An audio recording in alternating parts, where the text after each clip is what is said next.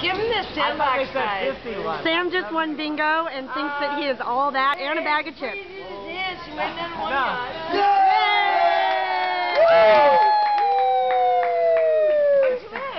What do you think of this? Sit down. Sit down. Sit down. Sit down. It's very small. This is why we don't go on vacation. Thank you. Vinny.